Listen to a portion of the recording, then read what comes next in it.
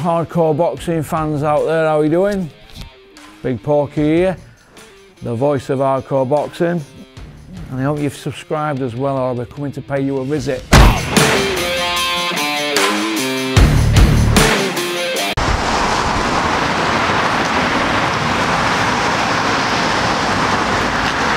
Eddie Hearn, when you going to come on Porky's Corner and answer some real questions? When? When you going to do it? Hey? We're not talking questions like what your usual people are asking, like Rob Tebbutt or Kugan Cassius. We're talking real boxing questions. So when you're going to come and do it, Eddie? You've got my email. I'm going to send you my new phone number today. Give me a ring, Eddie. Don't you be a bottle job.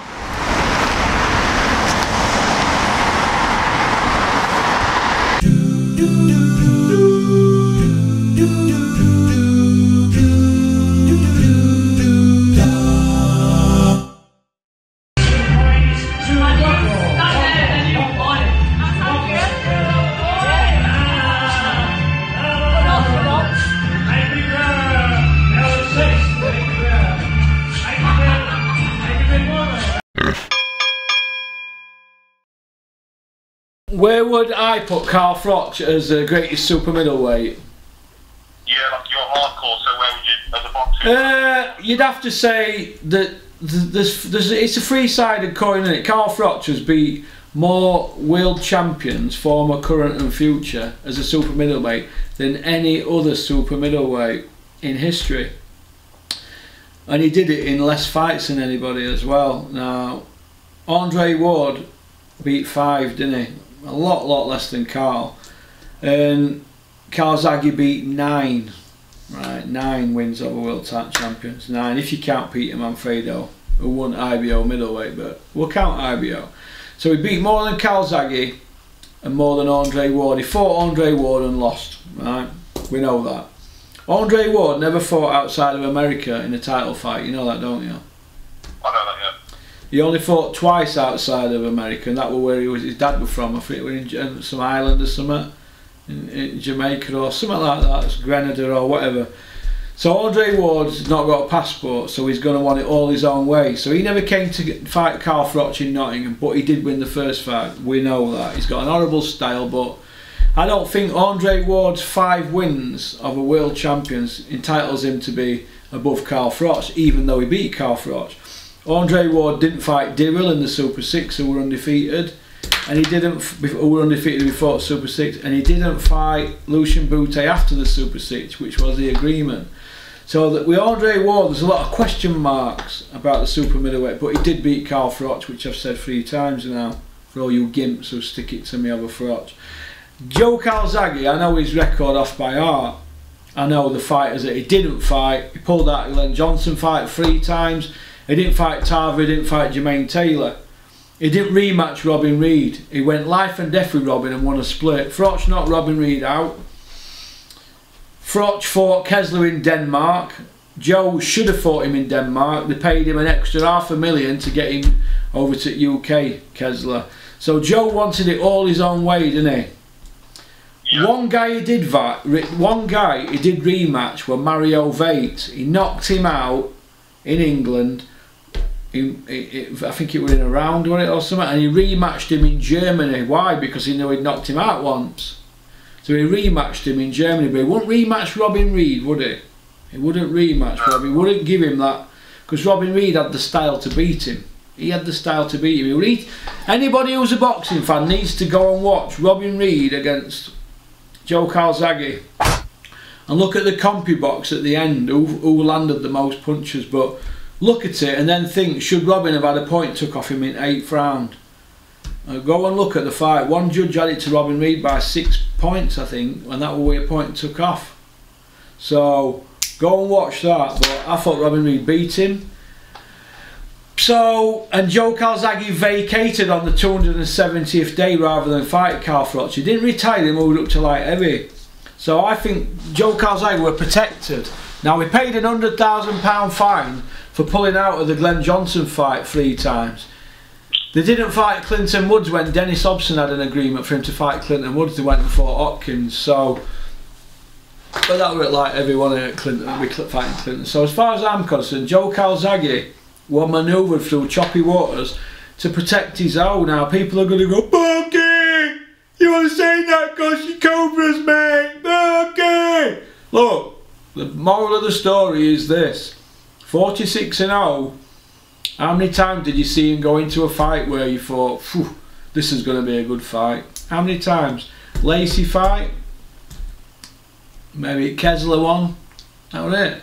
You got two defining fights as a super middle. So I'd put Carl Froch as the number one on the strength of the wins he's got. You'd have to put Joe Louis and Ali on the strength of what their records are, wouldn't you?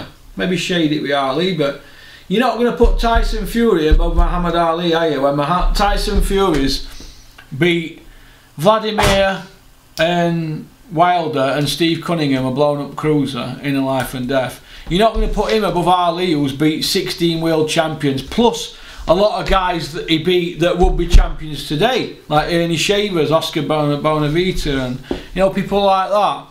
You're not going to put Tyson above Muhammad Ali, eh, are you? Because Tyson's way off that. He's way off Joe Louis, and he's way off Larry Holmes. He's way off Vladimir's record. He's nowhere near.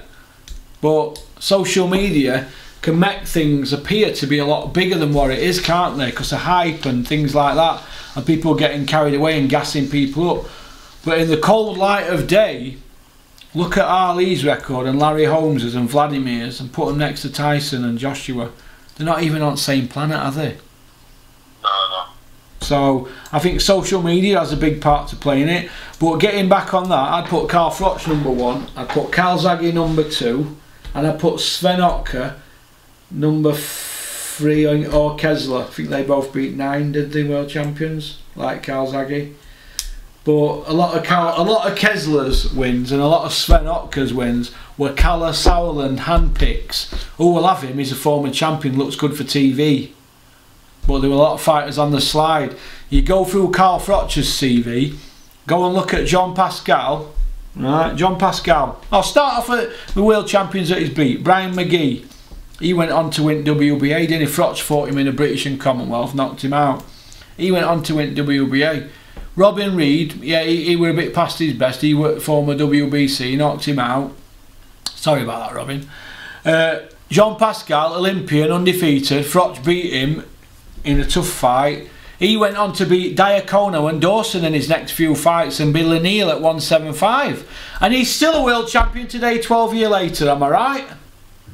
Yeah, you're right, mate. Jermaine Taylor, Froch's first defence in America. He'd only lost to Pavlik and he went mandatory. Joe Calzaghe's first defence, a goat herder called Branko Sobot. Do I hear silence from the Calzaghe fans? So you see where I'm coming from, don't you?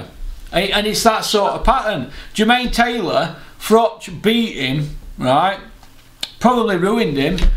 Five years later, he was a world champion. Do you see where I'm coming from? So it's not like he's beating bums.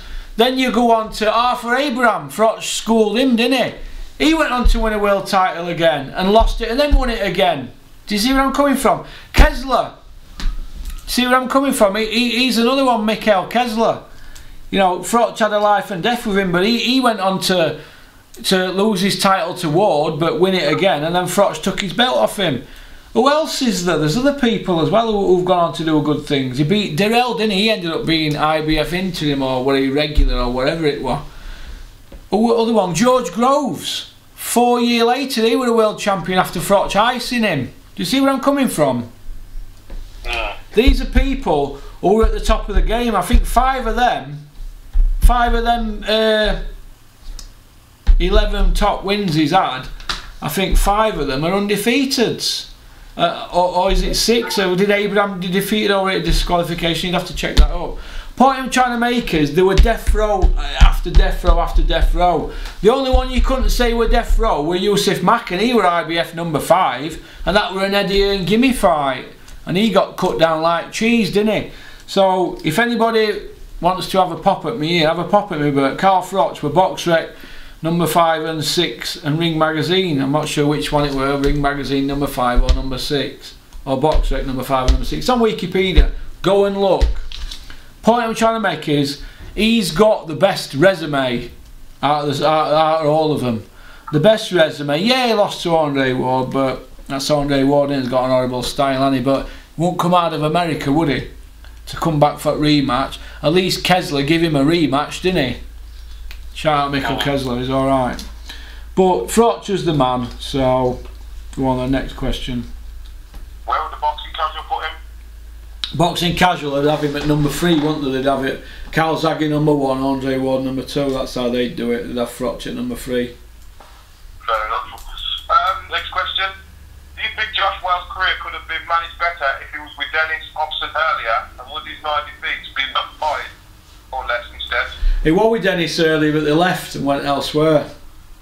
But that didn't like that's what I'm saying. So if he, obviously, if he didn't do that, Uh, I don't know. It, it, I don't. I don't know. I think that uh, Josh is a great little fighter. I seen him yesterday because it was his dad's birthday. Oh, you enjoyed your birthday cake, Mick. I hope you blow your candles out. Uh, Josh is a great little fighter, and he? he's a dedicated kid. They've had no Robert Green, but they won't kiss ass, will they? They don't go to any after parties, and they're not ass kissers. They're, they're proper, they're proper people. So, so as far as I'm concerned, I don't know if Dennis would have made a difference. I mean, Dennis is my pal, but I don't know if I don't know if uh, it'd have made much difference. I don't know. I, think a lot of it's timing. And I think Josh has had a lot of bad luck, and they've had to take fights at certain times, uh, and being a away fighter, but. He's been with us for four fights now, and he's four and zero because he's the home fighter, and I think he needed that. But what next for Josh, I don't know. Hopefully that uh, we'll be able to get him a fight and deliver for him. Steve Crump and Dennis, they'll be able to put the money up and get him a, a an an eliminator or a world title shot in next 12 months. But I don't know. I hope so. So I like him. I like the whole family. They're good people, good boxing people. But like I said, they've had no give. They've had no give them. So I hope that Dennis and Steve Crump can deliver for uh, for Mick and Josh. do you think do you think this second time round because they're putting more money into Josh, the reason why he's four now? Yeah, maybe. Maybe, I don't know. He's had a good win. That He beat that 28 and 1 guy that nobody in England wanted to fight. And when the fight were made, I think I said to Dennis, God, that's a tough fight, Dennis. That in it. He went, Well, we've got to roll dice, haven't we? And they Yeah. rolled it, and Josh beat him. So, in a, in a career best win. 28 and 1 kid, so. So, we're, we're going to see, aren't we? We're going to see, but were robbed for a European title, and I feel sorry for him all out there. Even Stefy Bull, who delivered for him. I mean, to give Stefy some praise now. I feel gritted teeth. He delivered for him, didn't he? And they got robbed, didn't they? So you've got to say maybe Josh is a European level fighter, but he got robbed. But at featherweight, he's a different animal. Punching harder. He's a 12 round fighter. Trains hard. He was training yesterday. He can run like the wind. So we'll see, but I wish him well, and I'm behind him. I'm Team Wale. Well, I only signed him, didn't I?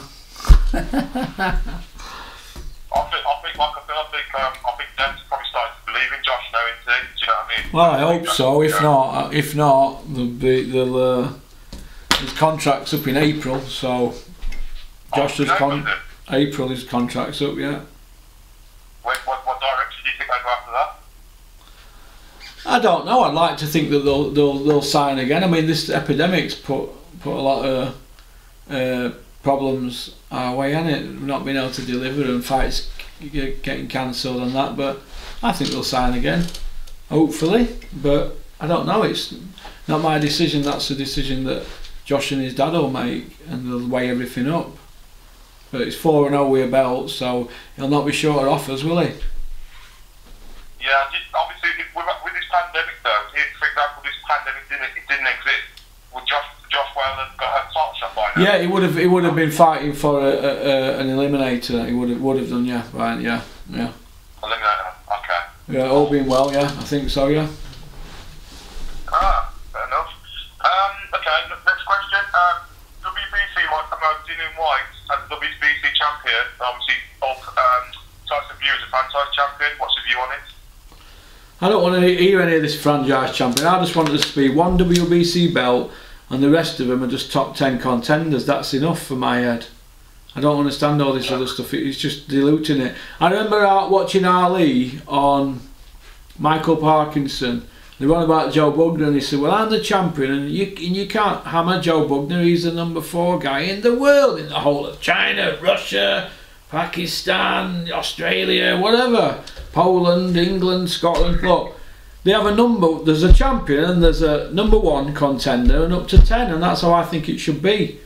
I don't want to see any of this other stuff, but TV have it, want it, don't they? They need they need belts on, don't they, for to to attract sponsors and they've got the mindset that uh, if there's a belt, sponsors will want to be involved, and it's mainly for that. But I, I want it to go back to old school, the uh, old school. So, How do you, how do you feel Whyte would feel though if the WBC just handing the WBC championship? Do you think be happy or not?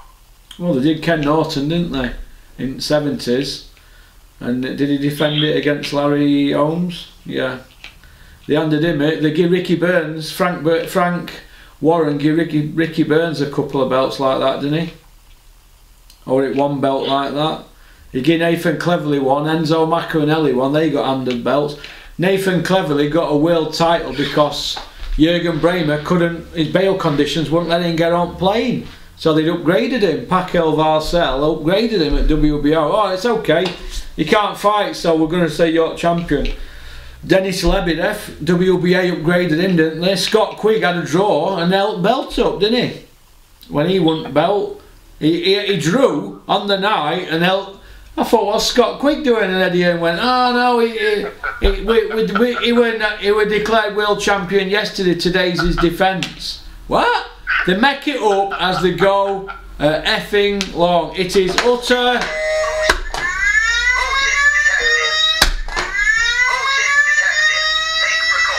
Take precautions. It's bullshit, mate. How's Scott Quigg these days? Scott Quigg, I don't know. I hope he's peeling spuds in his granny's chippy near where my mate Frank lives. With Tatey Rumbler. Go on, Quiggy. Chips and bits with plenty salt and vinegar.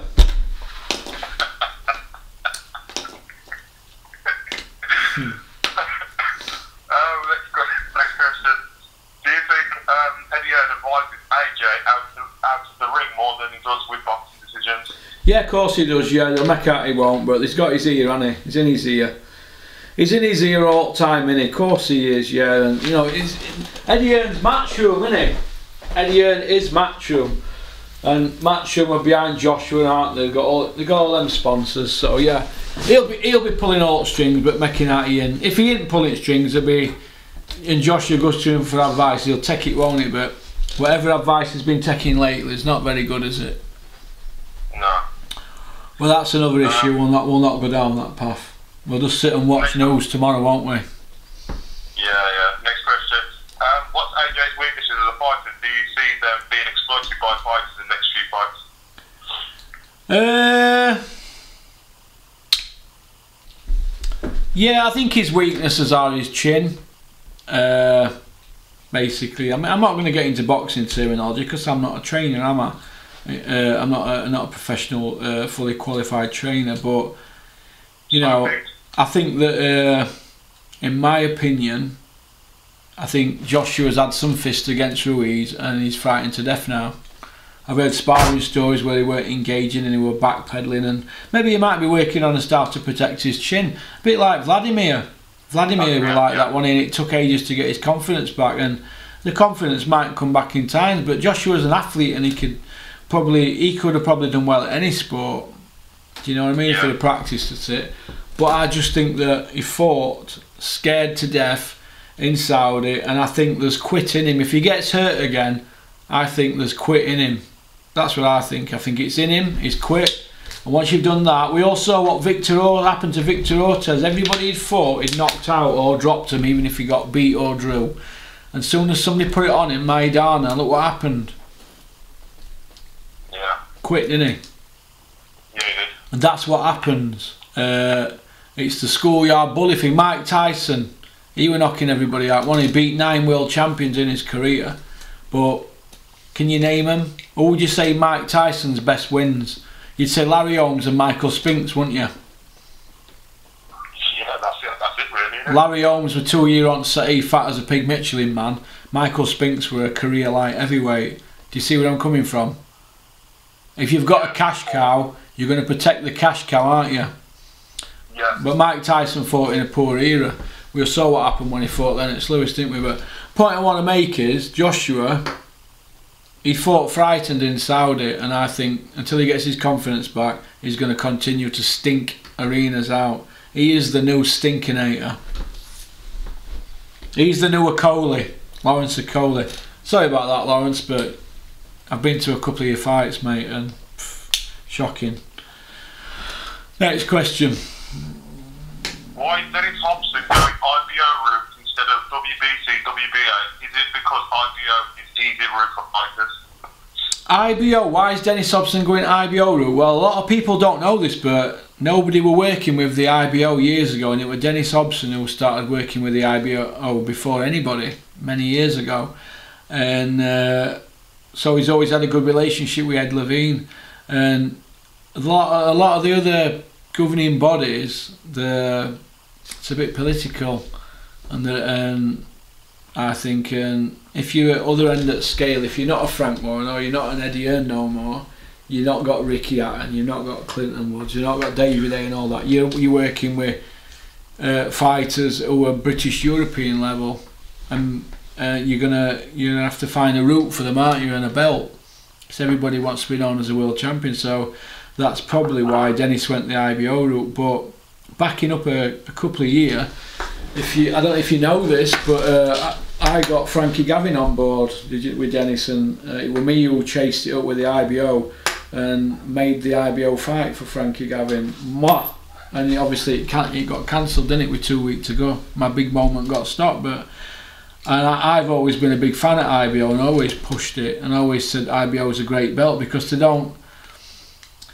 I know they don't call managers and that, but they're not political like the other ones. You know what I mean? I think IBF's good, they're pretty strict and that, but I don't think the IBO are. They don't go and do what they want. You know, like for example, the WBA.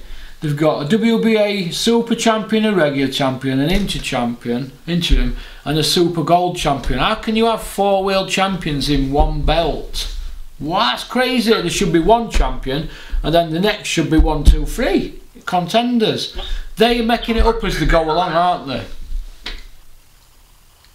Hey? That's all it is, really, isn't it?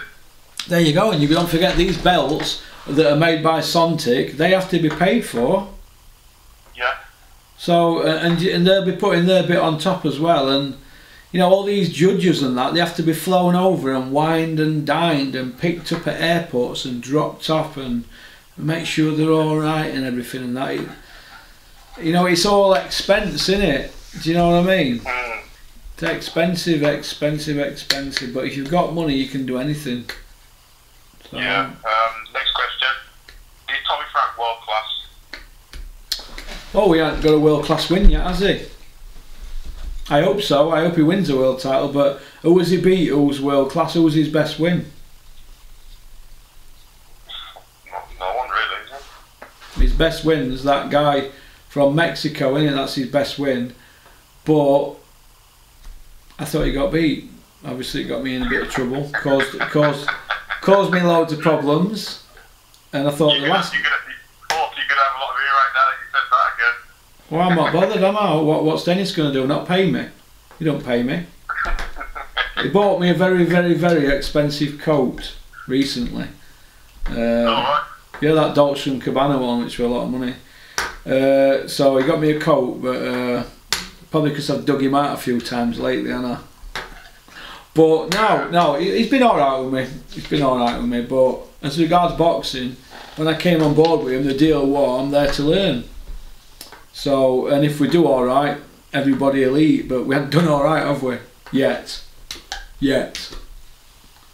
But he's all right. But Tommy Frank, he ain't got a world class win. I'm not going to come on here and say he's world class. Not when he's knocked Sonny Edwards fight back.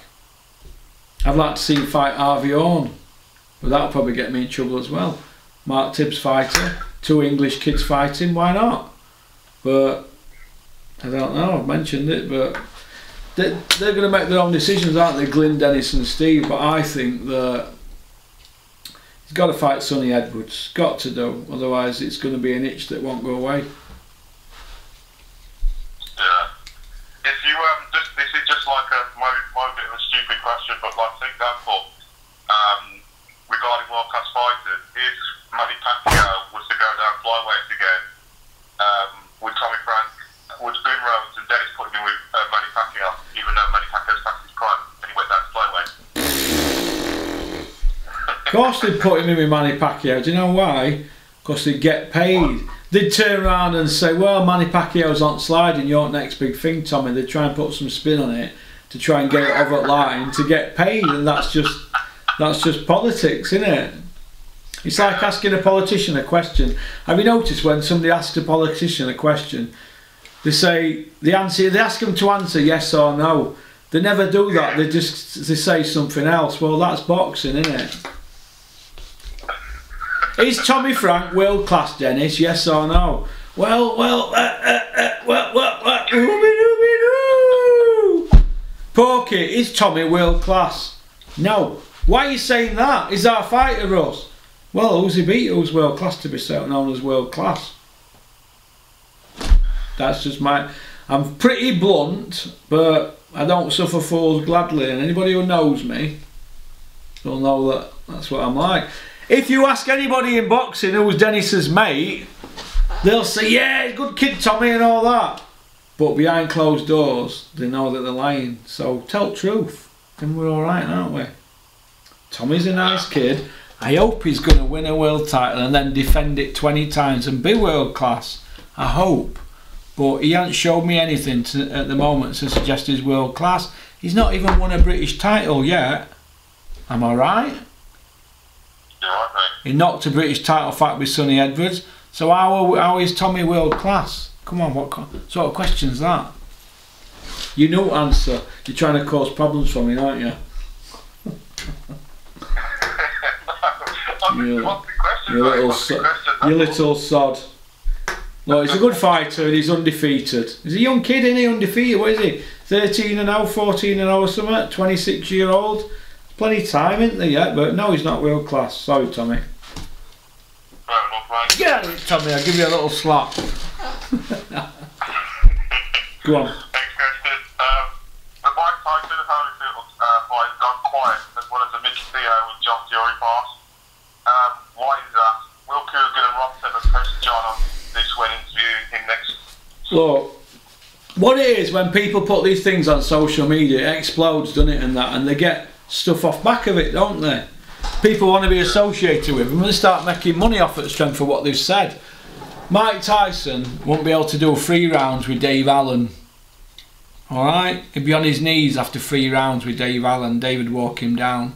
That's the level Mike Tyson's at.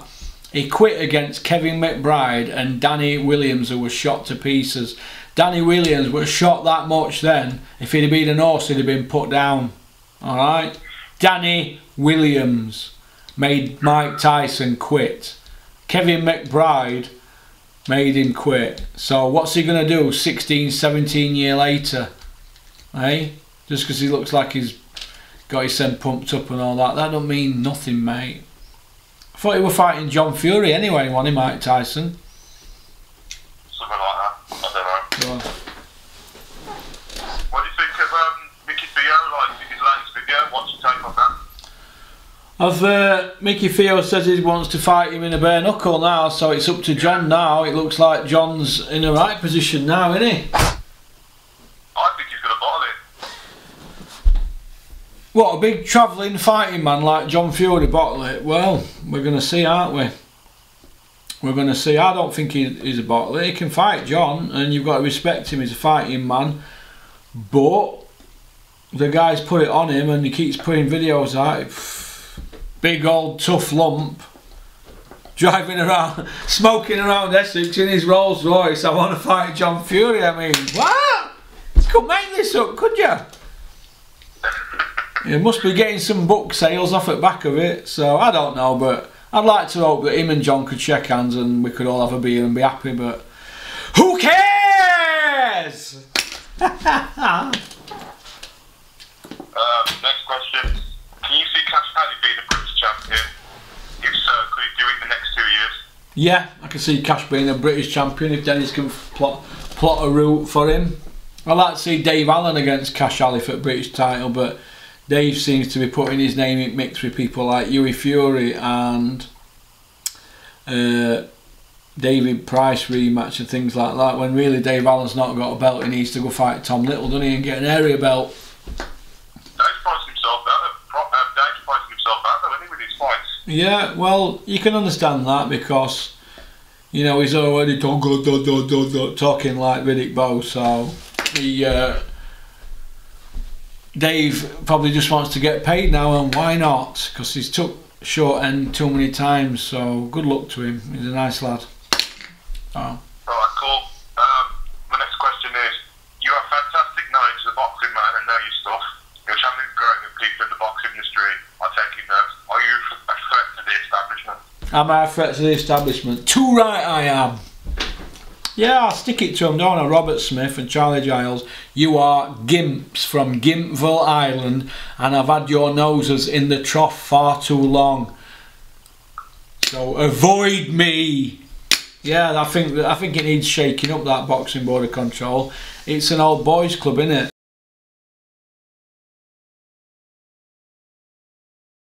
And it, it's not sour grapes that Les Potts uh, what wouldn't give me uh, a board license. Uh, I mean, how ironic it is that I'm in front of chief, former chief of police at area for a board license, eh? Unbelievable, Yeah. knowing that I got a massive sentence for a section 18 on a policeman. So I think I was stitched up there. Do you know what I mean? But it ain't sour grapes because pff, I'm over it now. But the point I do want to make is there's too many of them uh, these Freemason type people that are hanging around that border control and it needs a shake up it needs re it needs a new commission setting up. And if I win lottery I'm going to get a commission set up and we can do it properly.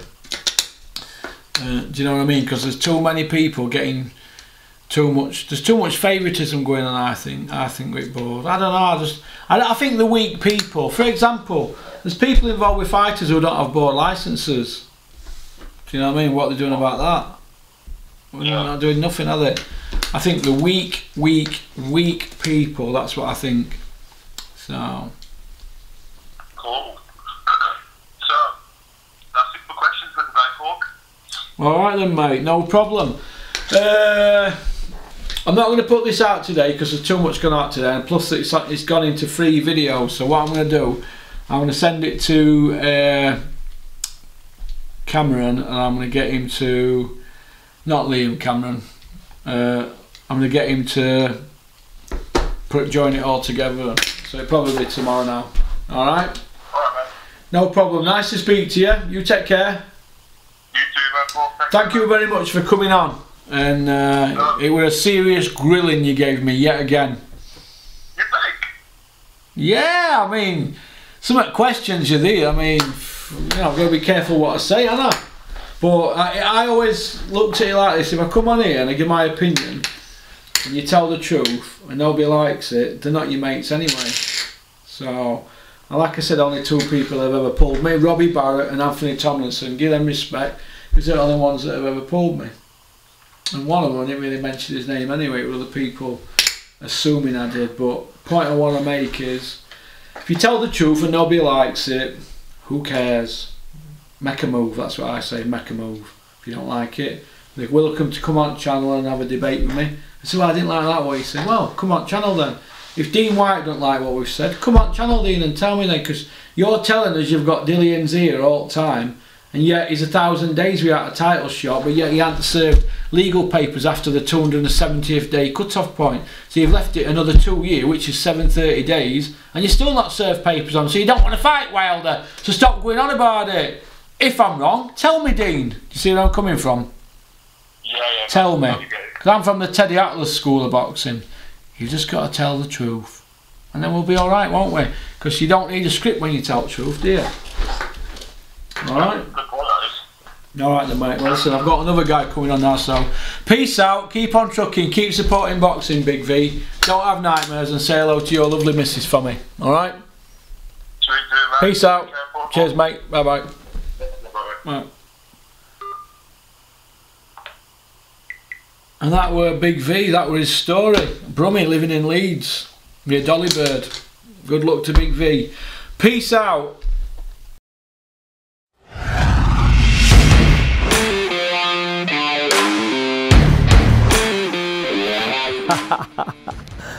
you like that one, didn't you? Right, first of all, I just want to say thank you very much for liking and subscribing. It means a lot to me because uh, we're on this journey together, aren't we?